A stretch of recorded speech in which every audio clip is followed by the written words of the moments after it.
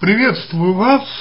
И, знаете, вот по вашему описанию, ну, во-первых, э, у вас явно появились некоторые проблемы на почве секса. То есть, вот, э, смотрите, вы пишете, что а, возникла такая проблема, поменялось отношение к парню, вы его любите теперь больше как брата. И плюс вы перестали его хотеть.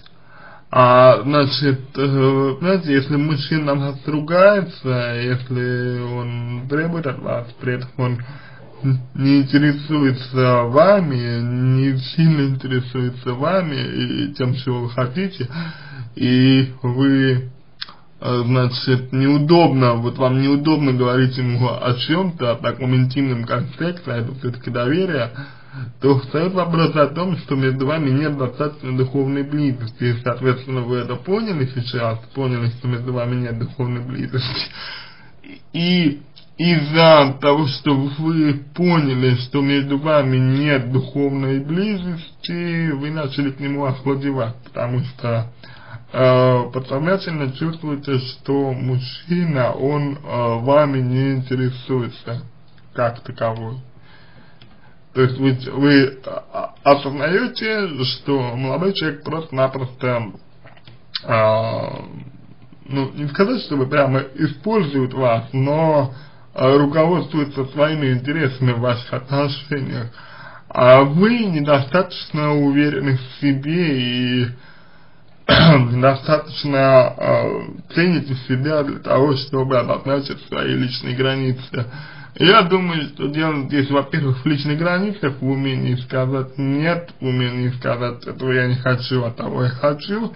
А, дело здесь в том, что вы не можете жить без него, а, то есть вы к нему привязаны, а привязанность это в данном случае плохо, потому что привязанность делает вас зависимым, и, соответственно, нужно разбирать, в чем именно вы привязаны к нему и как от этого лучше избавляться. А, и вот когда у вас а, изменится личные, привяз, личные привязки к мужчине, когда они у вас исчезнут, когда они у вас пропадут, можно будет говорить о том, как вы его, э, как вы к нему относитесь, э, как вы действительно его воспринимаете. И вот тогда уже вам станет понятно, любите вы его или нет, хотите вы быть с ним или нет. Что касается тестов, то ситуация здесь следующая, что тесты достаточно механический способ определения чего-либо, и это не то, что вам поможет.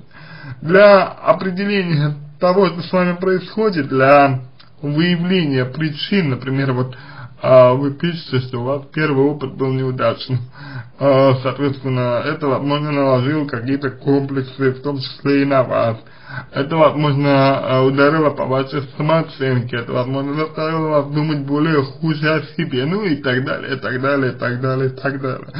То есть, вам вот это все нужно для себя понять, проанализировать и проработать с психологом. Может быть, даже с сексологом, если дело касается именно секса.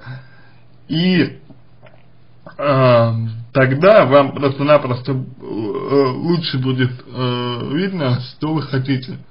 А все складывается такое ощущение, что вы с одной стороны хотите быть с мужчиной, а с другой стороны э, вы понимаете, что как бы отношения с ним вам ничего не дают, и вот этот конфликт по сути и есть проблема.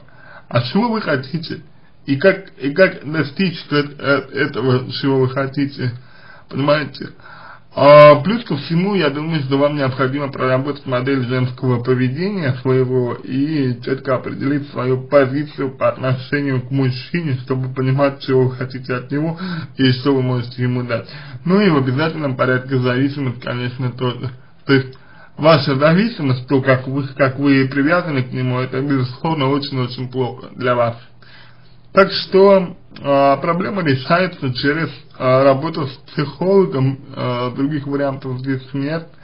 Но в течение полтора года вы живете так, еще какое-то время до этого вы встречались с мужчиной, а еще раньше у вас был неудачный опыт, и я думаю, что проблема идет оттуда, и, соответственно, а неуверенность в себе и проблемы с самооценкой это всегда детско-родительские отношения, вот, и, соответственно, э, вот так вот одним ответом на этот вопрос э, здесь, наверное, не получится вам помочь, тут нужна работа, нужно прорабатывать ваши э, все сомнения в себе, страхи, неуверенность и так далее, чтобы вы наконец-то разобрались в себе и поняли, чего же вы хотите.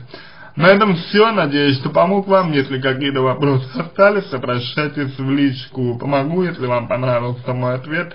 Буду благодарен, если сделаете его лучше. Желаю вам всего самого доброго и удачи.